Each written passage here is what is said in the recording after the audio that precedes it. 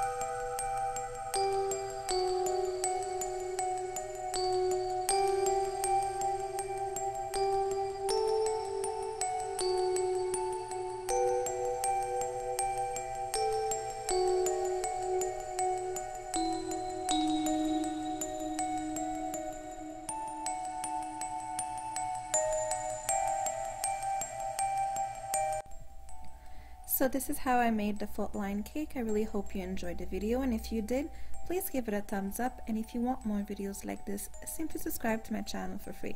Don't forget to click the notification bell button so you get notified of new videos that I put up. Thanks for watching and see you in the next one.